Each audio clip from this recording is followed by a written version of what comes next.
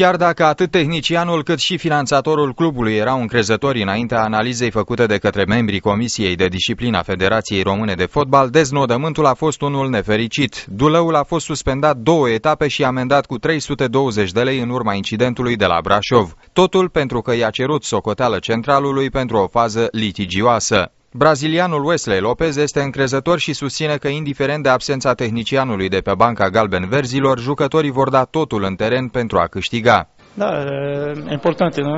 E important, e important pentru noi. Este în banc, vorbim mai mult la antrenament și tot.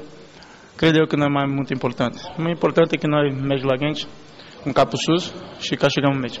Pe aceeași lungime de undă se află și tânărul internațional din lotul Vasluiului, Paul Pap. Nu, nu cred că e o problemă asta, pentru că suntem o echipă matură și, și, și cu dânsul și fără dânsul pe bancă ne antrenăm zilnic cu el și știm ce avem de făcut.